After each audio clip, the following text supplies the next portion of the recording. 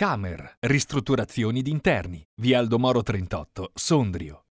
Dopo tanto lavoro eh, fatto dietro le quinte, oggi riusciamo finalmente a partire, eh, quindi d'ora in avanti parlerà più che altro il campo e meno magari le, le vicende societarie dove, dove, comunque penso che tutti i dirigenti, in primis il presidente, abbiano lavorato benissimo. È l'ora di far parlare il campo. La nuova Sondrio Calcio si è radunata ieri sera alla Castellina, svolgendo il primo allenamento. Nonostante una rosa ancora da ultimare, sta iniziando a prendere forma la squadra che dal prossimo settembre affronterà la Coppa Italia e il campionato di promozione. Dieci giocatori attualmente tesserati. La società del presidente Michele Rigamonti punta tutto sulla linea verde. Io in questo momento sono molto soddisfatto perché siamo riusciti prima di tutto a riaccogliere qua tanti giovani che purtroppo avevano lasciato la squadra dopo il fallimento e quindi secondo me quello è un grande punto di partenza, anche recuperare qualche ragazzo giovane che giocava fuori provincia eh, è stata un'altrettanta vittoria secondo me.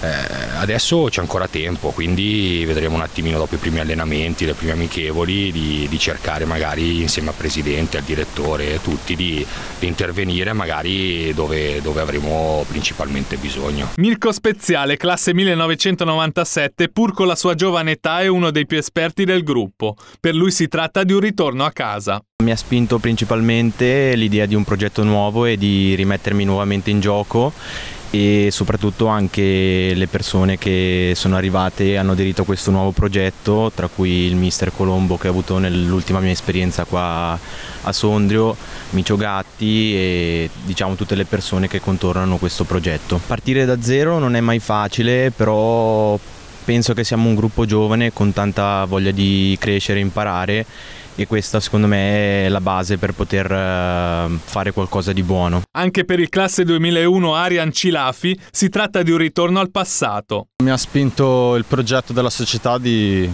cercare perlomeno di fare una squadra con tanti giocatori che vengono dalla valle e il progetto era un progetto interessante che potevamo divertirci sicuro della nuova società Rigamonti dunque eh, mi ha interessato abbastanza questa cosa, poi soprattutto gioco a Sondrio, il, la città dove ho fatto anche le mie giovanili, dunque sono felice di ritornare.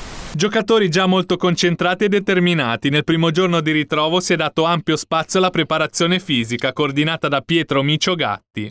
Due settimane di intenso lavoro prima del primo impegno della stagione, la gara casalinga con la Colico Derviese valida per l'andata del primo turno di Coppa Italia di promozione che corrisponderà anche alla prima partita ufficiale della storia della nuova Sondrio Calcio. Sabato in programma invece i primi test amichevoli. I biancazzurri affronteranno in un triangolare a Gravedone ed Uniti i padroni di casa dell'Alto Lario e l'Olympic Morbegno. Nel frattempo il lavoro del direttore sportivo Alberto Meleri non si ferma, visto che sono in corso numerose trattative.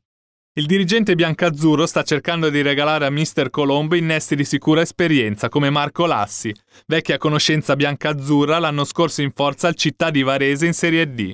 Un altro giocatore di fuori provincia, il cui arrivo imminente, è il difensore centrale Giulio Martinelli, scuola Bari.